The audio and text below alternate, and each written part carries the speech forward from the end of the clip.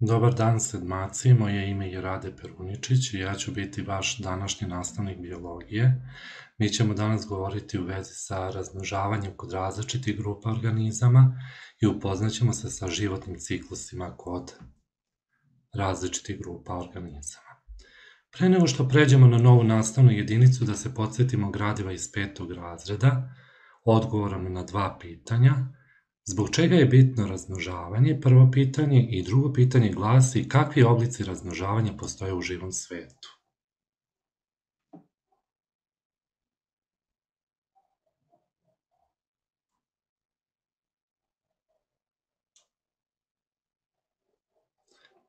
Tačni odgovor je razmnožavanje u živom svetu je bitno radi produžetka vrste i ostavljanje potomaka, A na drugo pitanje, u životinskom svetu postoji polno i bespolno razmnožavanje. Prilikom polnog razmnožavanja učestvuju dve jedinke, dok kod bespolnog učestvuje jedna jedinka, a nova jedinka nastaje od majke i jedinke.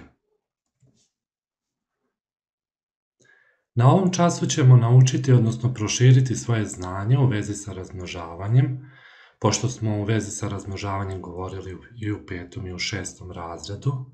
Upoznaćemo se sa različitim tipovima razmnožavanja kod životinja, naučit ćemo osnovne tipove razvića kod životinja i uporedit ćemo razmnožavanje razvića na primerima beskičmenjaka i kičmenjaka. Prvo ćemo nešto reći o bespolnom razmnožavanju. Kod bespolnog razmnožavanja nove jedinke nastaju od tela majke, te otuda imaju isti genetički materijal. Mi smo uzeli najjednostavniji oblik razmnožavanja Deobom tela, odnosno kod ameba, gde imamo u prvoj fotografiji pod brojem 1 i 2 predstavljene su lažne nožice, odnosno citoplazma i vidimo da prilikom deobe najpre se deli jedro, a potom citoplazma poprečnom deobom, gde od jedne amebe nastaju dve identične amebe.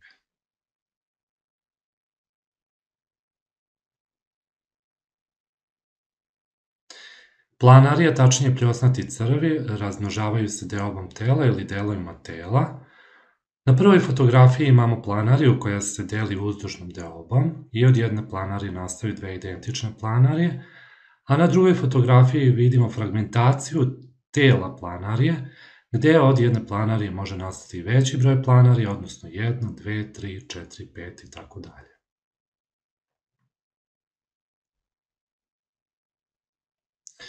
Bespolno razmnožavanje kod hidre, uh, u vezi sa razmnožavanjem kod hidre, govorili smo u petom razredu i to ćemo obnoviti da se razmnožava pupljenjem. Na telu majke nastaje pupoljak koji se odvaja i započinje zaseban život. Na priloženoj fotografiji vidimo uh, mali pupoljak koji raste, zatim uh, odvaja se od tela majke i započinje zaseban život i ovde možemo reći da Novonastala jedinka nosi isti genetički materijal kao i majka jedinka.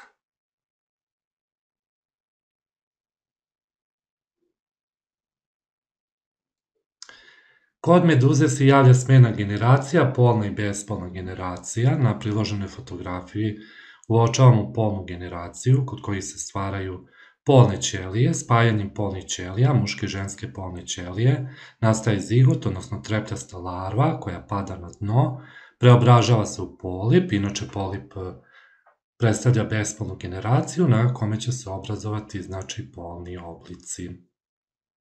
Sada imamo tekst, znači meduze plivaju slobodno i razmnožavaju se polno, iz oplođene jajne ćelije nastaje larva, videli smo da je trepljasta, koja pada na dno i koja je slična hidri pričašćena za podlogu i naziva se polip. Polip se razmnožava bespolno dajući nove meduze. U živom svetu javlja se pojava hermafroditnih organizama. Šta su to hermafroditni organizmi? Hermafroditni organizmi su organizmi kod koji se stvaraju muške i ženske polne ćelije. Veoma redko dolazi do samo oplođenja, to jest do spajanja polnih ćelija unutar samog organizma, Kod ovakvih organizama najčešće dolazi do razmene polnih ćelija i na navedenoj fotografiji vidimo da su se dva puža udružila i da se vrši unakrsno oplođenje. Cilj unakrsnog oplođenja jeste dobijanje raznovrsnijeg potomstva.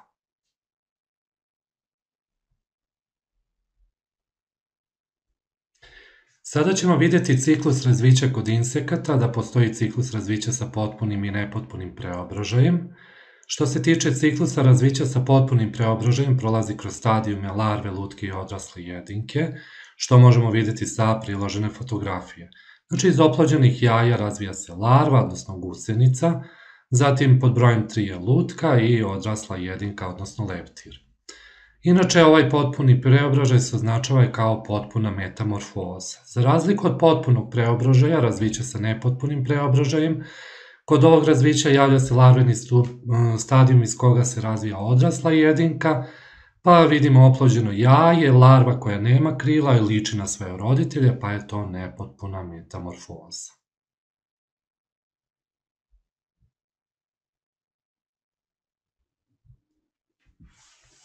Razmnožavanje kod kičmenjaka. Kičmenjaci su organizmi koji se razmnožavaju polno. Evo vidimo u gornjem desnom uglu učestvuju dve jedinke. Oplođenje jajne ćelije može biti spoljašnje i unutrašnje. Sada ćemo najpre govoriti o oplođenju jajnje ćelije koje se odvija u spoljašnjoj sredini, na primjeru riba i vodozevaca. Tačnije, kod e, riba ženke izbacuju veliki broj jaja, odnosno ikru, a mužjaci muške polne ćelije, odnosno mleče. Oplođenje se odvija u spoljašnjoj sredini i razmnožavanje kod riba se označava kao mrest. To možemo videti na priloženoj fotografiji, da su se udružili mužjak i ženka, da e, ženka izbacuje i, e, ikru, mužjak mleč, oplođenje se odvija u spoljašnjoj sredini, e, nakon oplođenja jajne ćelije razvije se embrion, larva koja poprima kasnije oblik odrasle jedinke. Što se tiče druge grupe organizama, to su amfibijski organizmi, a to su organizmi koji su vezani za vodenu sredinu razmnožavanjem. Mi smo uzeli primer žabe kreketuše, koja e, možemo da e, čujemo u proleće da pravi svadbenu igru, to jest mužjaci imaju posebne balone na glavi koji omogućavaju kreketanje. Ženka izbacuje jaje u spoljašnju sredinu, mužjak ih oplodi, iz jaja se razvija larva, punoglavac koji raste i menja se u odraslu žabu. Ovakvi stadijumi prelaske jedne jedinke u drugu jedinku označava se kao metamorfoza. Na priloženoj fotografiji vidimo mušku i žensku jedinku, znači vidimo ovde vazdušne kese, vidimo jaja koje je izbacila ženka u spoljašnju sredinu, mužjak ih oplodi i vidimo preobražaj, znači punoglavca u odraslu jedinku.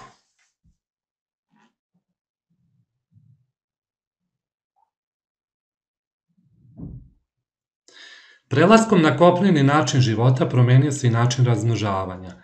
Oplođenje kod gmizavaca je unutrašnje, zarad opstanka na kopnu gmizavci su razvili prilagođeno jaje. Njihovo jaje ima ljusku što je omogućilo da se razvija od, e, razviće odvija van vode, ljuska znači ima zaštitnu ulogu i nakon oplođenja jajne ćelije nastaje embrion, to jest mlada jedinka. Evo ovde vidimo da jaje je omogućilo prelazak na kopneni način života što se tiče razmnožavanja. Razmnožavanje kod ptica, ptice se razmnožavaju polno, oplođenje unutrašnje, a ženke legu jaja. Na jajima to je inače period inkubacije leži najčešće ženka, u nekim slučajima i mužjak. Nakon inkubacije legu se guluždravci koji ostaju izvesno vreme u gnezdu ili ptići trkuše. Sada ćemo na priloženom videomaterijalu uh,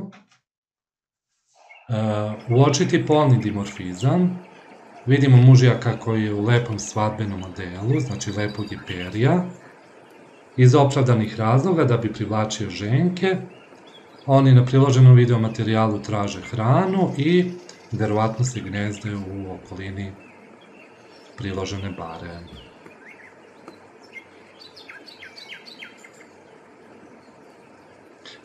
Znači ovde uočavamo polni dimorfizam da se mužjak i ženka razlikuju.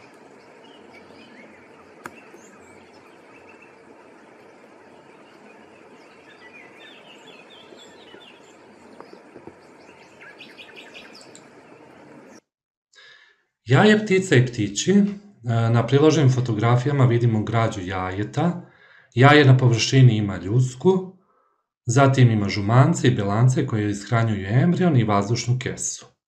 Na drugoj fotografiji vidimo podmakli razvoj e, embriona, kesicu za izlučivanje i e, ono što treba da znamo jeste da smo ptiće podelili na trkuše i na guluštravce koji ostaju izvesno vreme u gnezdu.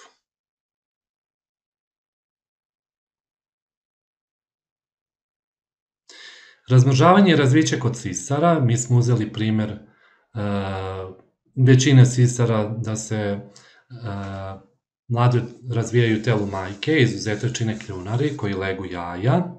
Na priloženoj fotografiji, znači pre, predstavljen je kljunar koji leže jaja, jedini od sisara. Sada ćemo videti građe organa za razmnožavanje kod čoveka. Polni sistem čine muške polne žlezde ili semenici ili testisi, kako se drugačije označavaju. Smešteni su van tela u mošnicama i u njima se stvaraju muške polne ćelije spermatozoidi. O građi spermatozoida ćemo detaljnije govoriti u osmom razredu. Od testisa polaze semevodi koji se ulivaju u mokraćnu cev koja kod muškarca prolazi kroz zajedni, inače zajednička sa sistemom organa za izlučivanje i prolazi kroz muški polni organ penis. Na putu semevoda nalazi se muška žlezda prostata koja luči semenu tečnost. Sada ćemo na priloženoj fotografiji videti muški polni sistem, rekli smo da su ovo semenici, odnosno testisi, u njima se stvaraju muške polne ćelije spermatozoidi, zatim e, ovo su semevodi, na putu se nalazi prostata koja luči semenu tečnost. I ovo je znači semevod koji se uliva u mokraćnu cev koja prolazi kroz muški polni organ.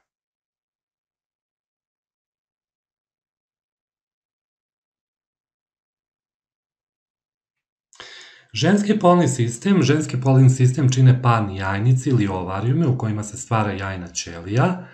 Jajovodi ili ovidukti su sa proširenjima koje se značavaju kao falopijeve tube.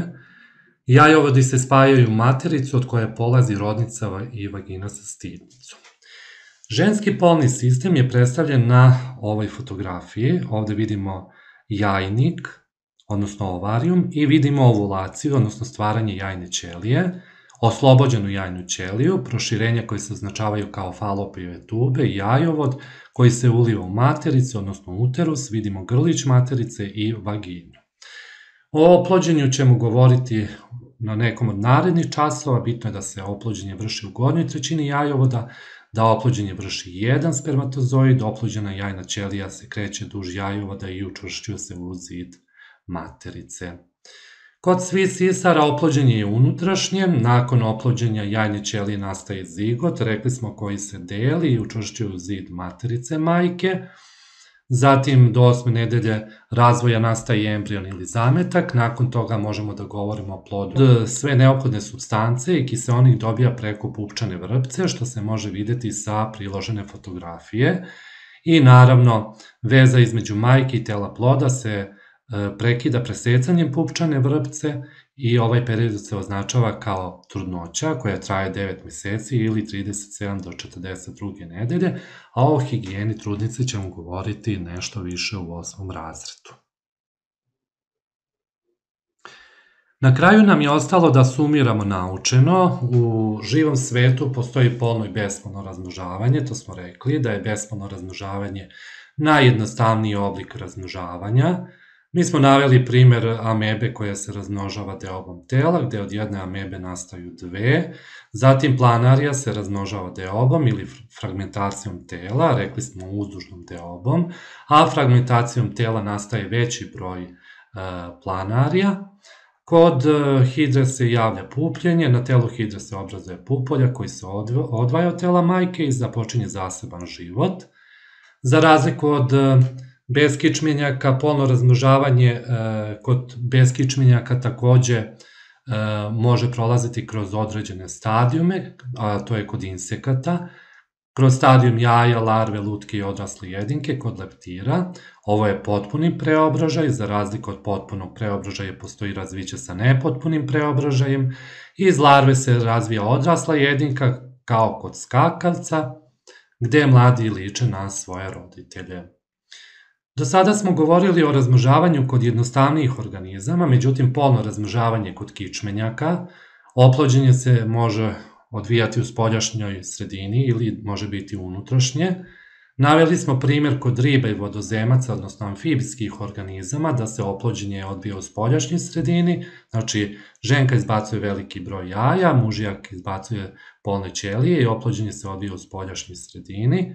Kod kopnenih kičmenjaka oplođenje je unutrašnje, gmizavci i ptice legu jaja, inače jaja su omogućila da se organizmi razmnožavaju na kopnu. Kod sisara mladi se razvijaju u telu majke i kod sisara smo rekli da postoje muške i ženske polne žlezde, odnosno testisi u kojima se stvaraju muške polne ćelije, odnosno spermatozoidi i jajnici u kojima se stvara ženska polna ćelija i jajna ćelija. Spajanjem jajne ćelije i spermatozoida nastaje zigot koji se deli, zatim e, period razvića se dalje označava kao trudnoća i završava se porođajem.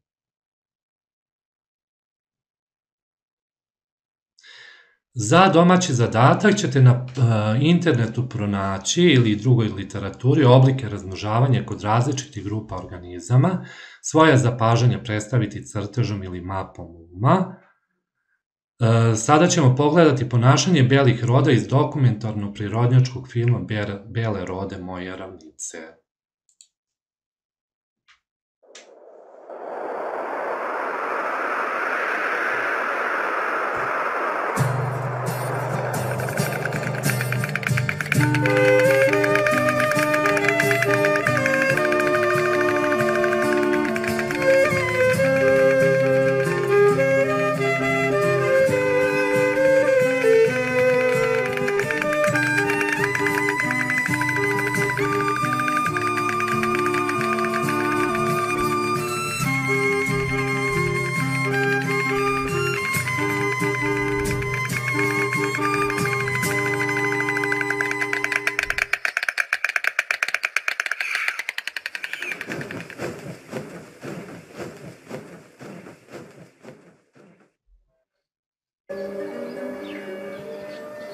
Početkom maja u gnezdu na ođaku kuće zatičemo četiri jajeta koje ženka nežno obrće i ušuškava.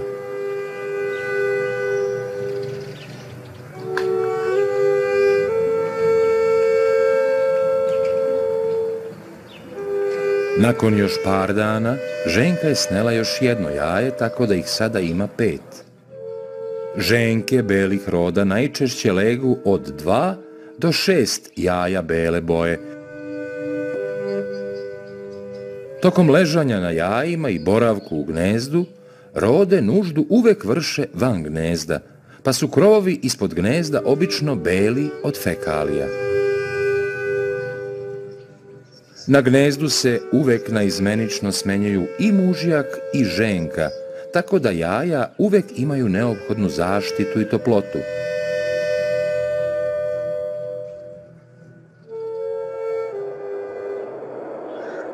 Krajem maja u gnezdu na dimnjaku zatičemo tri mladunca i četvrtog kako se muči pri razbijanju ljuske i izlasku iz jajeta. Mama roda je tu da pripomogne pri izlasku i da mladuncima da obilan obrok od polusvarenih glista. Odrasle rode sakupljenu hranu prenose u svojim voljkama, a kad dolete na gnezdo, polusvareni sadržalj voljke povraćaju mladuncima. Šta se desilo sa petim jajetom nismo saznali, ali poznato je da rode same ponekad redukuju broj jaja, pa čak i mladunaca kada procene da uslovi za opstanak mladih nisu povoljni. To se najčešće dešava zbog suše i nedostatka hrane. Početak je avgusta. Mladunac je sam, odmerava visinu gnezda, traga za ostacima hrane i vežba krila za prvi let.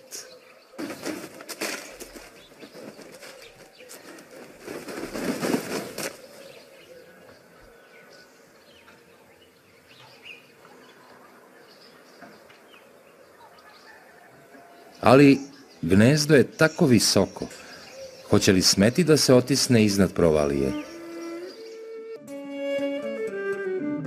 Prvi let do susedne livade bio je kratak, ali uspešan. E, zahvaljujemo se magistru Oliveru Fojkaru na priloženom videomaterijalu Nadam se da vam je nastavna jedinica bila laka i zanimljiva i ja vas do narednog časa pozdravljam. Doviđenja, prijatno.